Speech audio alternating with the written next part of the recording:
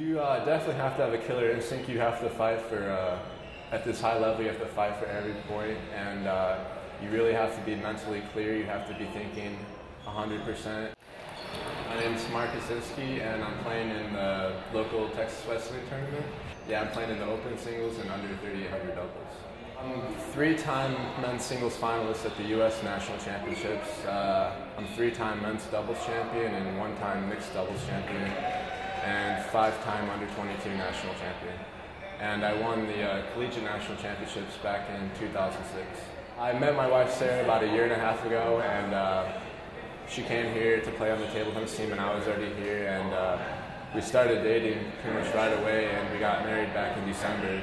And uh, it's really cool that both of us love table tennis and play it at a high level like we do. And uh, I think the last three tournaments here, we played each other in the finals of the Open, so it's kind of weird, but uh, cool at the same time.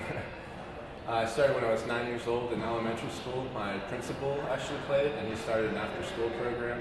So I started playing tournaments regionally, and then nationally, and then eventually internationally. And I just really fell in love with the game. And uh, I actually played baseball at the same time, and I kind of had to decide which one I'd rather do. And I, I like table tennis more, so I stuck with that.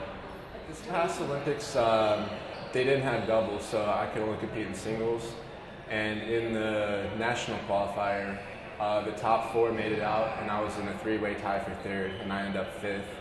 So I barely missed out closely, but uh, it was a little bit tougher because I was trying to mix balance school and table tennis, and it was just a little bit tougher for me. But but I'll definitely be trying out for 2012.